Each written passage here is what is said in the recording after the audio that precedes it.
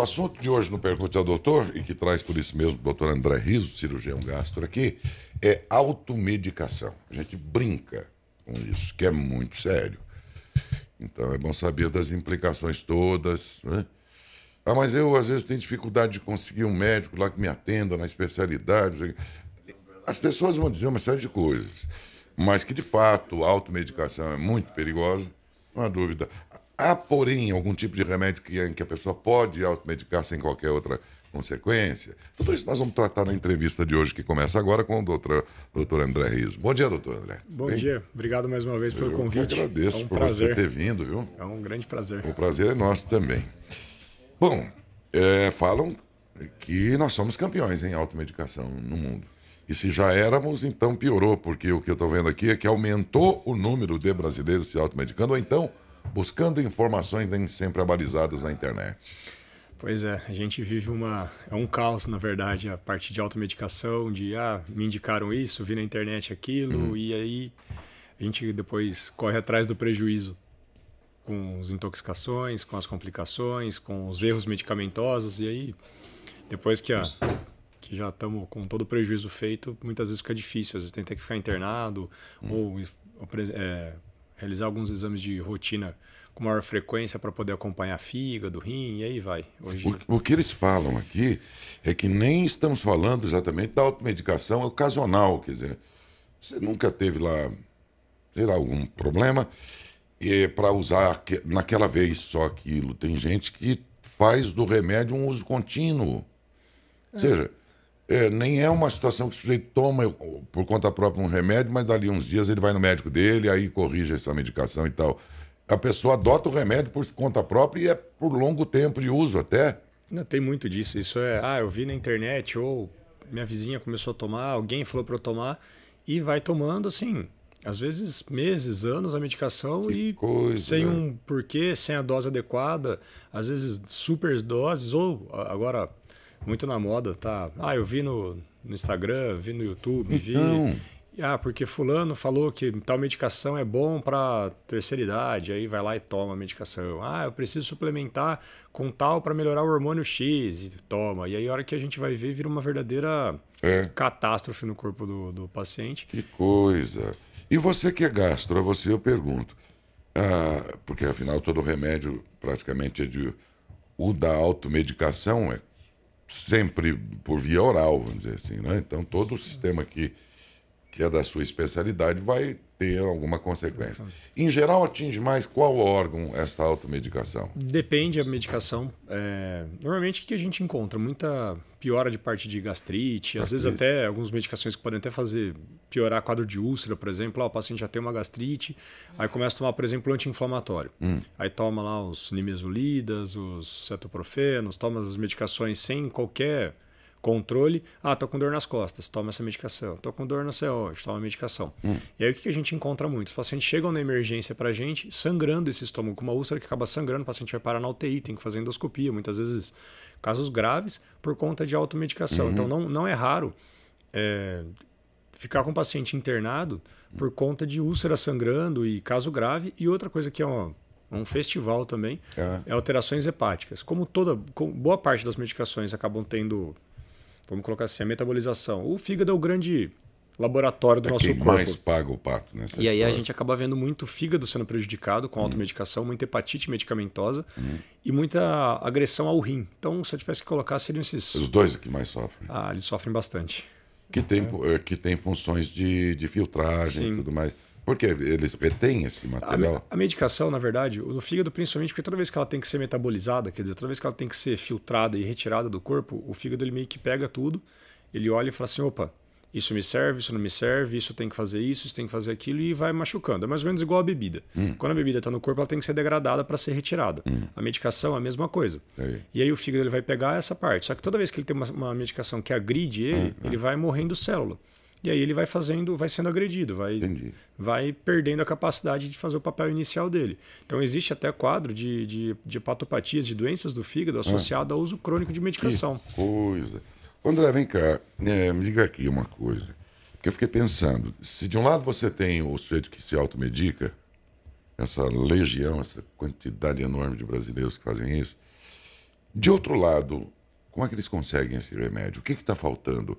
É uma conscientização de quem toma ou a hum, possível facilidade de aquisição também? Ou seja, não está precisando ter uma legislação mais cuidadosa é, que, que, restringe um pouco esse consumo tão facilitado, a aquisição facilitada do remédio, hein? Eu acho que é um pouco o conjunto da obra. Eu acho primeiro a população que já está acostumado a ir no balcão da farmácia e comprar medicação que acha que pode comprar. Um pouco também a facilidade da entrega da medicação. Tem muita medicação que deveria ter uma receita controlada. Hoje em dia. Pela internet. Pela própria internet. Mas hoje em dia a legislação está um pouco, até um pouco mais em cima disso. Mas a gente ainda assim encontra é, muito paciente que compra um antibiótico e depois tenta arrumar uma receita ou alguma coisa assim. Hum. Ou entre outras medicações, mas às vezes é o, você não tem um, um única, uma única causa. O, você viu na internet, você foi na farmácia, uhum. aí o, o, a farmácia para vender vendeu a medicação e aí fica nesse ciclo vicioso. Ah, já estou tomando, então vou continuar tomando. É, recentemente a gente teve a conversa sobre o Ozempic, aqui que eu até a gente veio bater esse papo foi. aqui.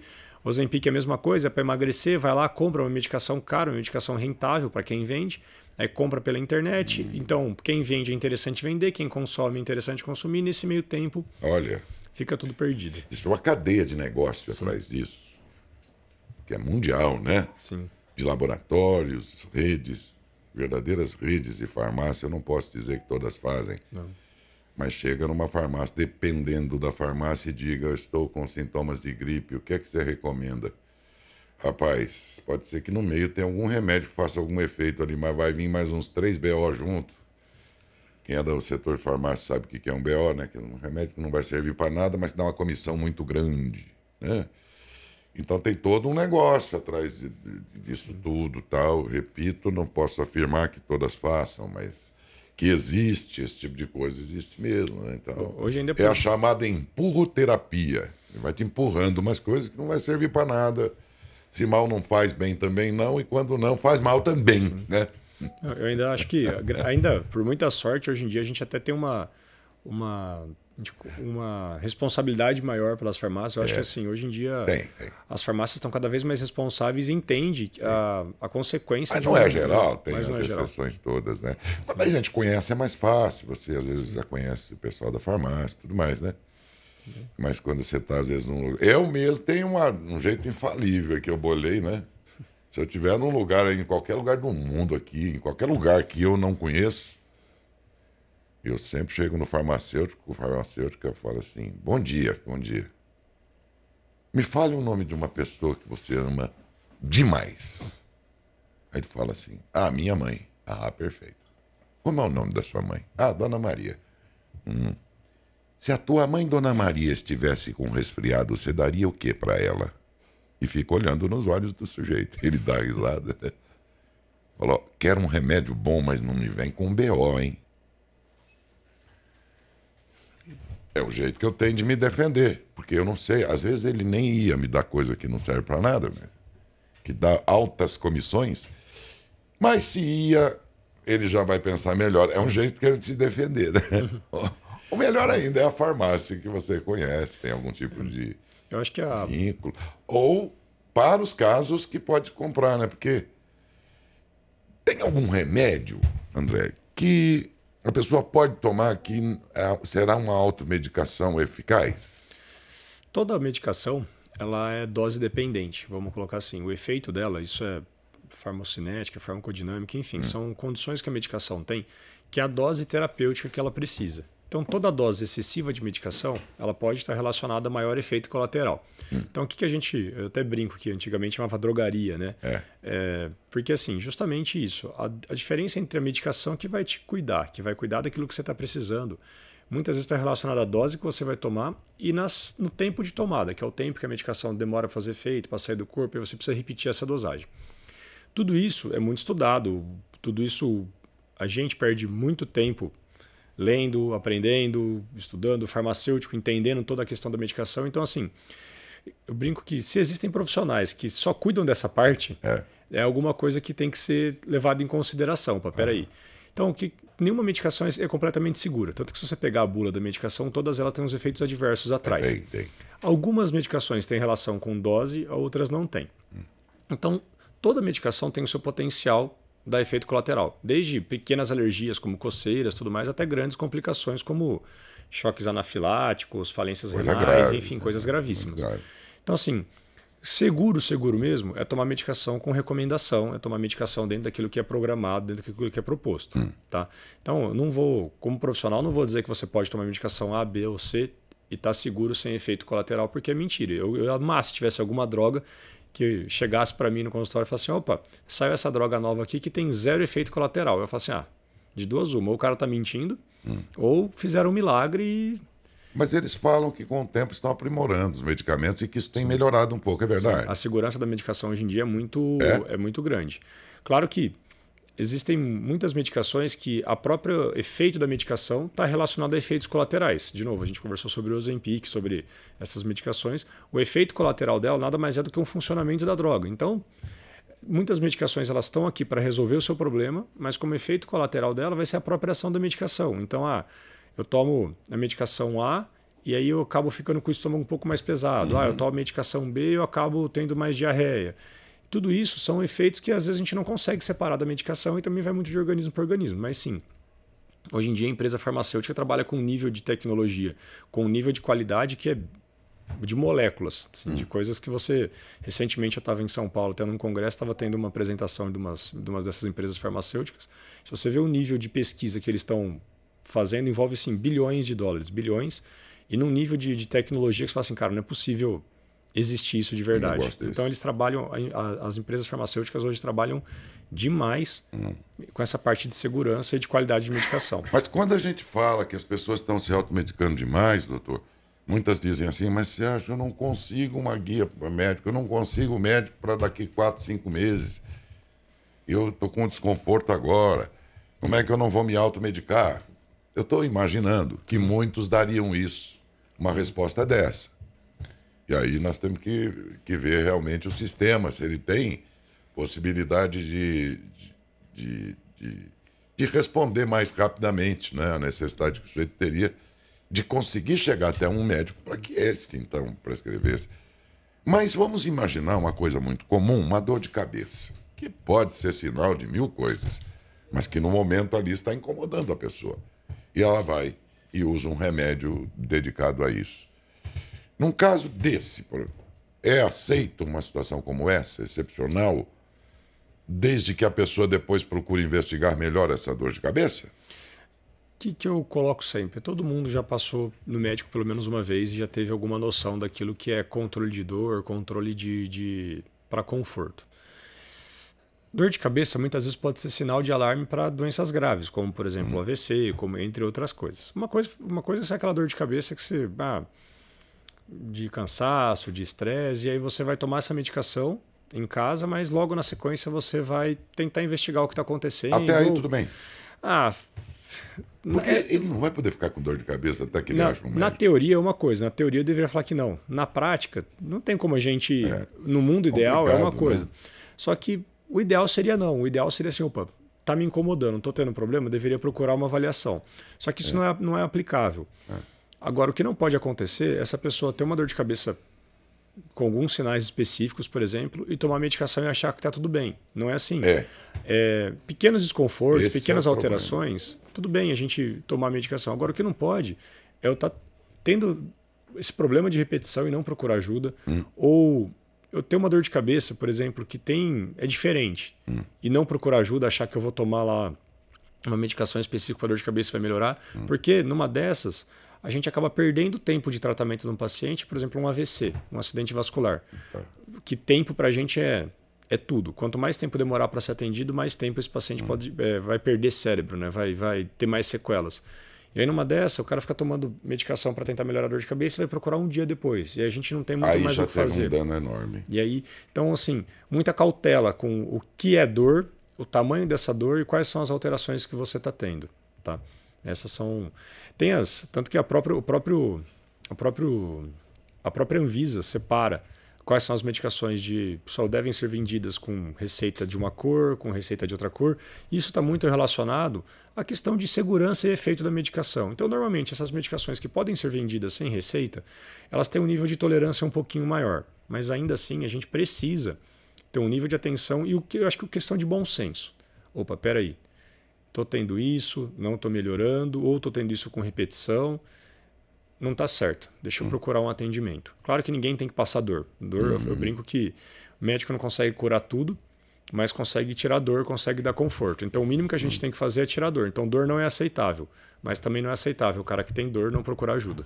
Mas para você ver, tem gente que nem está precisando daquilo e toma antes. Mas vou evitar ressaca. É doido. É. É, e é, é, difícil, porque assim, às vezes tem algumas medicações anti-ressaca, vamos colocar assim, ou parecidas, que aumentam o risco de sangramento, o risco de intoxicação hepática, é. e aí vai. Então. Tem uns é... caras que tomam os prazóis, tem vários nomes aí e tal, mas antes de beber. É, o prazol especificamente é praticamente gastar dinheiro à toa, na verdade, porque ele tem um tempo de ação. É bom você falar disso. Tem muita gente que antes de uma noitada aí tal, toma os prazóis. Tem várias marcas, omeprazol, pantoprazol, tem um monte de prazol, né? Termina tudo com prazol. E os caras tomam com a crença de que aquilo vai proporcionar a ele uma resistência para encher o pandu aí de, de, de, de, bebida e que depois ele acorda bem no outro dia. É, o primeiro Faz que... sentido isso? Assim, com o prazol especificamente, não muito, porque ele tem um tempo de fazer pico de ação, tem uma sequência de tomada. Eu falo muito isso lá no consultório. O pessoal às vezes vai tomando, ah, eu tomo prazol, tomo na segunda, não tomo na terça, não tomo na quarta, vou lá, tomo na sexta. Para título de conforto, ele até realmente diminui um pouco a parte de ácido do estômago e tudo mais no primeiro dia, mas ele não vai fazer qualquer tipo de tratamento, qualquer tipo de superpoder para você aguentar beber mais, na besteira, verdade. então. É besteira. É jogar né, dinheiro fora. É, ele precisa de pelo menos aí de 5 a 7 dias para ter o pico de inibição de ácido do estômago. Aí a cachaça já já foi embora. Já foi embora, né? Não é uma Já fez o xixi. Já foi embora no xixi. É, minha gente, nós estamos conversando com o doutor André Riso, cirurgião gastro, e o assunto é automedicação, que aumentou demais entre os brasileiros, hein? E eles perceberam também que aumentou muito o número daqueles que usam a internet pedindo informações sobre as mais diferentes doenças e remédios. É sinal que há uma demanda aumentada para aquilo que já era exagerado, segundo autoridades mundiais, aqui no Brasil. Perguntas, Adalberto Felipe também tem depois lá, viu? Tem sim. Ana Paulinácia acompanhando o programa. Bom dia, Daércio. Bom dia, doutor André. Tomar magnésio todos os dias faz mal, doutor? Bom, o magnésio ele dá um conforto grande na parte de estômago, né? Principalmente o pessoal que tem gastrite, às vezes tem uma dispepsia, uma queimação. Aí toma o magnésio que ele traz de fato um conforto. Assim, em excesso, ele pode causar algumas alterações, pode causar um pouco de diarreia, pode ter algumas alterações. Se está tomando magnésio todos os dias, talvez tenha que investigar um pouquinho melhor se não tem aí uma gastrite ou alguma coisa do tipo que a gente tem que fazer um tratamento. O que eu brinco muito é que sintoma é diferente de tratamento. Melhorar a dor não é obrigatoriamente estou tratando.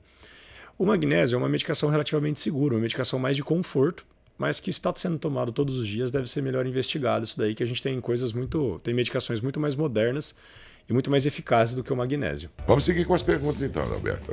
Bem, a Solange participa com a gente, Solange Vieira. Fala, doutor, da internet eu já vi várias pessoas falando a respeito de diabetes, com medicamentos naturais que acabam com a diabetes, que eliminam a diabetes. É verdade? Olha, Falo, diabetes é uma das doenças que mais assolam o Brasil e o mundo. É uma das doenças mais ingratas que a gente tem. É uma das doenças que provavelmente dão mais trabalho para os endocrinologistas aí. E eles vivem com a nossa alegria quando vem alguma droga nova, alguma medicação nova para conseguir controlar. Se a gente tivesse uma medicação assim, o chá, alguma coisa que dá para a gente fazer em casa, que resolvesse o problema do diabetes tão fácil, eu acho que a gente já não teria mais nem discussão sobre esse assunto. Infelizmente, tem muita coisa na internet que vende substâncias mágicas que prometem mundos e fundos e que na verdade tá mais fácil de dar problema do que qualquer outra coisa. O que realmente resolve diabetes são alimentação adequada, um exercício físico, uma atividade física adequada, um bom endócrino, um bom médico que vai te acompanhar, com, vai ficar em cima de você para não deixar sair do controle com boas medicações e mudança de hábito de vida seu. Então, assim, não, honestamente, não acredito em, nunca vi nada, não acredito em nada dessas grandes promessas feitas pela internet aí com chás e tudo mais, porque isso só vai te dar problema. Não precisa gastar dinheiro com isso não. É verdade, doutor. E ela tem razão, viu? Eu tenho recebido. Parece que eles sabem que a gente é diabético, doutor. No meu caso, eu sou diabético, recebo quase que diariamente a cura do diabetes, do tipo 2, tomando isso, tomando aquilo.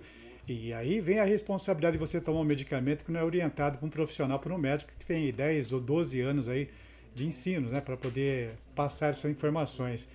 Cura de, de, diabetes, doutor. Até hoje a gente não sabe, principalmente a diabetes tipo 1, né? É, hoje a gente discute muito, a gente tem medicações muito mais seguras, a gente tem até para o diabetes tipo 1 insulinas muito mais confortáveis de utilização, tem dispositivos que fazem controle e liberação dessa parte de toda a parte medicamentosa, sem que você tenha que ficar furando o dedo, vamos colocar assim. Então, nós temos muita coisa hoje que melhora a qualidade de vida do diabetes, mas se fosse tão simples assim de novo, coisas que são vendidas pela internet, primeiro que não estaria sendo vendido pela internet. Hoje as melhores medicações, vamos colocar assim, as medicações de que trabalham em nível molecular, são medicações de altíssimo custo, medicação de altíssimo controle que não são disponíveis assim. Não é tão, não é tão óbvio, não é tão simples assim as coisas. A Maria participa com a gente do município de Dobrada. Bom dia a todos do Jornal das Saudades FM. Referente a dor de cabeça, doutor, eu tenho sempre dor de cabeça e sempre tomo Neusaldina ou o Dorflex. É, em exagero faz mal? Sim. São duas medicações que, primeiro que está tendo dor de cabeça com frequência, a gente tem que tentar entender o que tipo de dor de cabeça é essa. Isso um, um neurologista consegue desvendar tranquilamente, tá?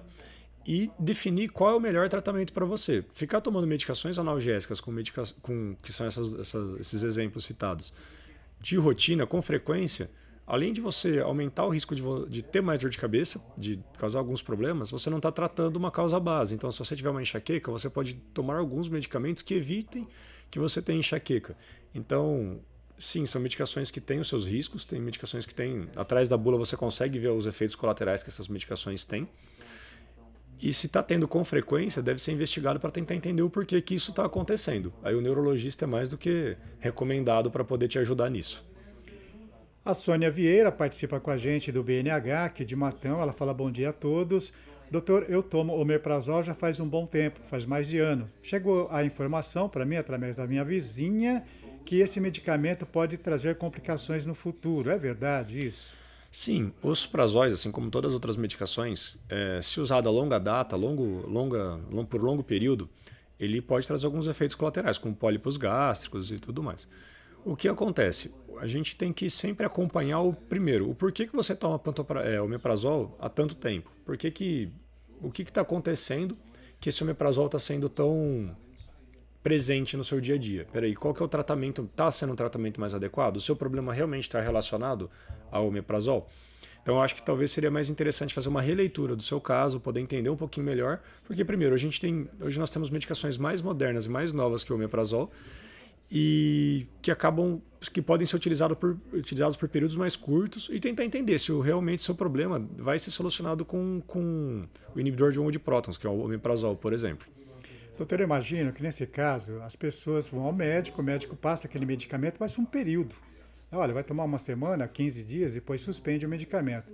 E aí o ser humano sabe como que é, olha, se ele passou é bom, eu vou tomar por conta própria. Aí vem a automedicação que pode trazer vai. complicações, né? É, que, que eu, eu acho que principalmente a parte de, de, de dispepsia, que quando usa omeprazol, tudo, eu, eu, brinco muito lá no meu consultório com meus pacientes que eu falo que 50% é com a medicação e 50% é com o paciente. Porque é muito simples a gente acordar de manhã e tomar uma medicação. É cômodo, é confortável, é simples. E aí não significa que tomando essa medicação eu possa comer churrasco todo dia, fazer um, um estrago no meu estômago. Não vai ter medicação que vai segurar isso. Então, muitas vezes, o paciente faz uso crônico desse tipo de medicação justamente porque ou não segue uma orientação adequada ou não faz um tratamento adequado.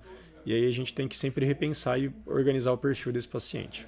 É, o medicamento sempre vem com uma dieta junto, no, nesse caso. Né? Pelo menos eu, de vez em quando, graças a Deus não muito tempo, uma gastrite, mas sempre vem lá o medicamento e olha, cuidado com esse tipo de alimento, tá? Toma esse tipo de cuidado, pode complicar. Então a gente sempre tem que acompanhar a rigor para poder melhorar.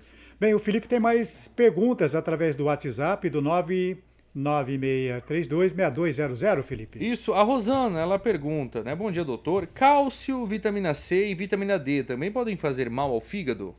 A gente tem que. Normalmente esses são suplementos, é, suplementos de vitaminas e sais, né? Que a gente às vezes recomenda e prescreve para o paciente. São, normalmente eles não tendem a trazer grandes alterações, grandes problemas assim. O que tem que tomar muito cuidado é são, são com as intoxicações, com a superdosagem ou com o uso sem um acompanhamento. É, a gente vive hoje uma praticamente uma epidemia de, de, de pacientes tomando vitaminas e tudo mais sem um acompanhamento.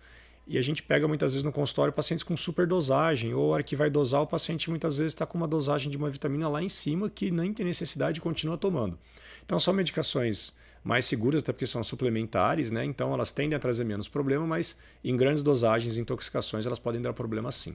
O, o Theo pergunta, é, ou melhor, ele relata que ele toma magnésio, ora pronobis, coenzima Q10. Ele pergunta se tem alguma restrição, doutor. Sim, tem que ser muito bem acompanhado. Eu sempre gosto de dizer que a gente tem que tomar muito cuidado com tipos de suplementos, com tipos de promessas e com tipos de, de, de indicações disso. Muitas vezes, ah, eu tomo esse porque eu vi que faz bem, eu tomo isso por conta de alterações. E não raro a gente pega fitoterápicos ou medicações naturais, entre aspas, que podem causar sangramento, que podem deixar o sangue mais fino, é, entre outras alterações. Então, toda suplementação, inclusive, deve ser acompanhada com um profissional que saiba prescrever e que saiba te acompanhar e, se der algum efeito colateral, saiba te tratar também. Doutor, a Joana Moreira, ela fala que ela está com alergia, está afastada do serviço por conta disso, e ela relata que todos os dias ela tem dor na cabeça. Será que isso tem alguma relação com a alergia? Olha, depende muito da, da, da manifestação dessa alergia. Claro que alergia, muitas vezes, a alergia na verdade está relacionada a um processo inflamatório que o seu próprio corpo está trazendo, quer dizer, uma reação adversa que seu corpo está tendo por alguma razão. E isso pode ser um fator de gatilho para dor de cabeça mas também pode não ser. Dor de cabeça pode estar relacionada a outras coisas, como estresse, entre, outras, entre outros problemas. Se está tendo de repetição, acho que vale a pena procurar um profissional para poder fazer um, uma boa história, um bom exame físico e poder tratar com qualidade isso. Deixa eu aproveitar aqui, última pergunta. Temos que liberar o doutor, que ele tem os compromissos dele também, consultório, no hospital. A Gisele Moreira. Doutor, eu tenho acompanhado estudos recentes de complicações gastrointestinais relacionados às sequelas da Covid. Isso procede? Bom, a Covid, uh, hoje a gente vive um, um, um estado pós-Covid, na verdade. O Covid ainda está circulando, mas a gente não está mais na, na epidemia, a gente não está mais naquela pandemia que a gente viveu é, alguns anos atrás, graças a Deus.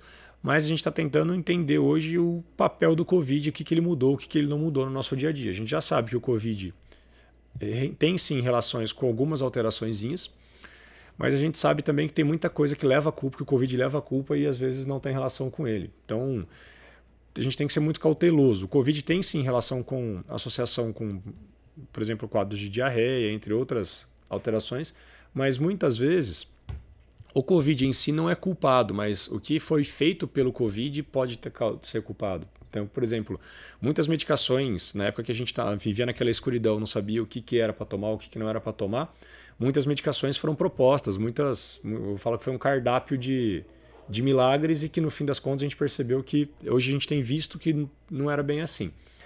E com isso, muitas dessas medicações elas podem alterar a microbiota intestinal, quer dizer, as bactérias boas do intestino, podem alterar a parte de funcionamento de fígado e aí vai. Então, o que, que eu recomendo?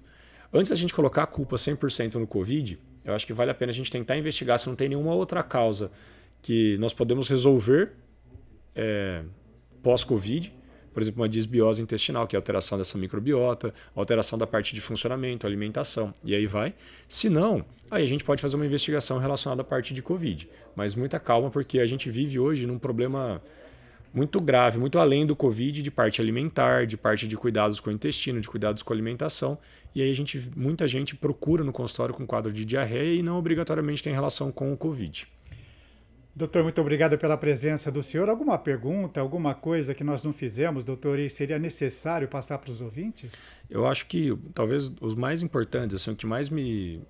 me eu até queria aproveitar esse momento para a gente poder abrir esse leque, eu acho, de atenção, é tomar muito cuidado com aquilo que é vendido na internet, com aquilo que é feito de propaganda na internet e aquilo que muitas vezes, até profissionais mesmo de saúde, que acabam recomendando ou prescrevendo. A gente tem que ter muita cautela. Hoje não é raro encontrar pacientes no consultório com um milhão de, de, de manipulados, um milhão de, de medicamentos fitoterápicos, um milhão de medicamentos naturais e que a gente acha que não tem qualquer efeito colateral e, na verdade, a hora que a gente começa a perceber a associação entre eles, pode causar grandes problemas. Já tive pacientes internados por conta de, de problemas associados a isso. É, não é raro a gente pegar paciente que tem algum tipo de intoxicação, algum tipo de, de, de alteração hormonal por conta dessas suplementações, por conta de, de reposições hormonais, entre outras coisas. Então, hoje em dia, a gente tem que ter muita cautela e muito cuidado para entender aquilo que é passado pela gente na internet. Tá certo? Ok. Felipe, ficou alguma pendência aí, não? Dércio, chegou uma pergunta agora de uma ouvinte. Ela falou assim: Doutor, qual é o melhor medicamento para dor de cabeça? Eu tomo de pirona de um grama. Olha, depende o tipo de dor de cabeça, depende do tipo de paciente. Você não vai. É uma. É uma. Não existe para. Eu falo que hoje em dia o tratamento é individualizado e para cada pessoa o tratamento é. tem que ser feito aquilo que é que vai ser melhor para ela. Então não existe o melhor medicamento, existe o melhor medicamento que deve ser receitado para você. É, depende. O melhor remédio para dor de cabeça. Se você não tem dor de cabeça e gostaria de ter, é, tem várias alternativas aí, né? Faça um empréstimo aí, é. não sei. Compra um carro velho de colecionador para poder consertar. Tem bastante coisa que dá dor de cabeça. é, embora no caso do carro antigo e mesmo né, tem o prazer aí do pessoal que coleciona, que a gente sabe, estou só brincando. Né? ah, você que precisa de um remédio para dor de cabeça para a eventualidade de um dia ter. Falar nisso, todo mundo tem uma gaveta, uma caixa aí cheia de remédio em casa, não tem, não? Tem, todo mundo tem. Que serviu lá um dia para uma coisa, ficou lá e volta aquele negócio e toma outra vez. Daí vem minha última pergunta. Porque muitos dizem que os laboratórios colocam lá prazo de vencimento só para a gente jogar fora. E que não vence naqueles prazos, não. É mentira, é mito ou verdade isso? Não, na verdade isso é uma, é uma... A Anvisa tem uma regulamentação muito, muito específica em cima disso. A Anvisa é uma, um órgão controlador que realmente fica muito no pé. Porque tempo de medicação é o tempo de conserva, é o local que você conserva a medicação. Então, se você olhar na bula da medicação, é. tem exatamente as condições que o medicamento deve ser, deve ser conservado, as formas como as medicações devem ser conservadas, o local e o prazo de validade. Tudo hum. isso tem muita relação com a capacidade da medicação de ser efetiva. Por exemplo, existem algumas medicações que, se tomada com outras, ela pode diminuir efeito. Algumas medicações que, se conservadas em locais não adequados, elas podem perder a, a capacidade de funcionar. Vou dar, por exemplo, a insulina, que tem que ficar na geladeira. Se ela ficar numa, numa temperatura mais alta, por exemplo, ela vai perder a capacidade. Eu receito para alguns pacientes meus que têm algumas doenças mais raras de parte intestinal, algumas medicações que a ampola tem que ficar dentro de uma temperatura. Se, se, se essa ampola dessa medicação for conservada fora, essa medicação custa 16 mil reais, mais ou menos. Essa, a gente perde praticamente essa ampola, são 16 mil reais jogado fora. Então, tem, tem todo um porquê se tem o prazo de validade e se tem o local de, conserva, de conservar a medicação, hum. é realmente porque pode interferir diretamente no funcionamento dessa medicação. Essa medicação ela pode perder a capacidade dela de funcionar adequadamente. Ok. É, pode até nem fazer mal, mas também não vai fazer o bem esperado. Exato. E pode fazer mal também, às vezes ela vai funcionar e pode diferente. Pode até fazer mal também. É. Muito bem. Obrigado, doutor André, pela presença, viu? É um prazer. Ótima entrevista, como sempre. Doutor André é um sujeito super dedicado à medicina, um sujeito que a gente vê que faz uma medicina de, de porque gosta, né? Eu falo sempre que isso é o que diferencia o médico, né? Quando o médico é vocacionado, ele é um médico humanista, quando não, ele é um mercantilista. E eu não estou falando mal de uma categoria nem deles. Eu estou dizendo que em toda categoria tem um pouco de tudo. A gente gosta sempre e percebe é, quando o médico é um médico humanista. E o André é um sujeito realmente dedicado, que gosta do que faz. Muito obrigado, viu, doutor? Eu que agradeço, conte sempre comigo, é um prazer. Um prazer nosso, um abração.